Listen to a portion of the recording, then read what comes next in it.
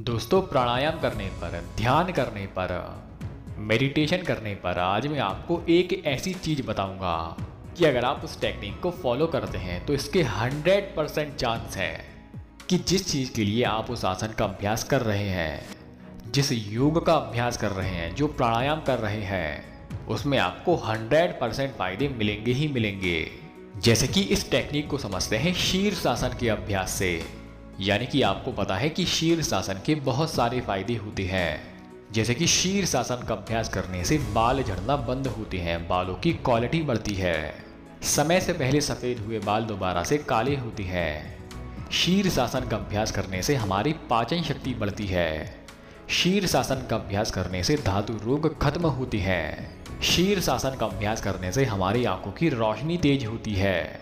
शीर्ष आसन हमारे गले के लिए बहुत ज़्यादा फ़ायदेमंद है। शीर्ष आसन का अभ्यास करने से कब्जी की समस्या नहीं होती, और भी ऐसे शीर्ष आसन के बहुत सारे फ़ायदे होंगे।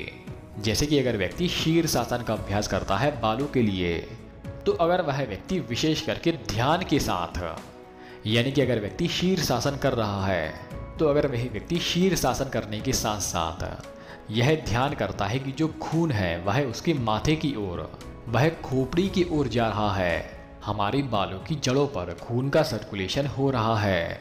और जब तक वह शीर्ष आसन का अभ्यास करता है, तब तक वह यही ध्यान करता है। तो विशेष करके उसको शीर्ष आसन के माध्यम से। बालों की समस्या से राहत मिलेगी। हालाँकि इसका मतलब ये बिल्कुल भी नहीं है कि इससे आपका हाजमा अच्छा नहीं होगा। आपकी धातु रोग की समस्या खत्म नहीं होगी। इससे आपकी कब्ज की समस्या खत्म नहीं होगी। ये पूरे फ़ायदे आपको मिलेंगे, लेकिन विशेष करके आपको बाल झड़ने की समस्या में विशेष फ़ायदा मिलेगा। अगर आप शीर्ष आसन का अभ्यास करते हैं, धातु रोग की समस्या को खत्म करने के लिए तो आपका ध्यान होना चाहिए कि शीर्ष आसन करने के साथ साथ आपकी धातु रोग की समस्या खत्म हो रही है।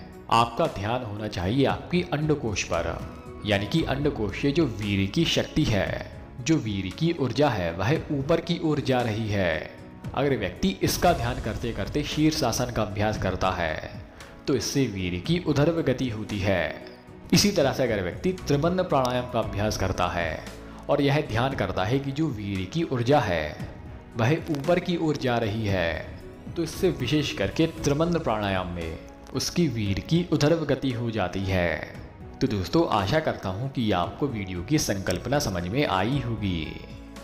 आपने वीडियो यहाँ तक देखी। आपका बहुत बहुत आभार। धन्यवाद।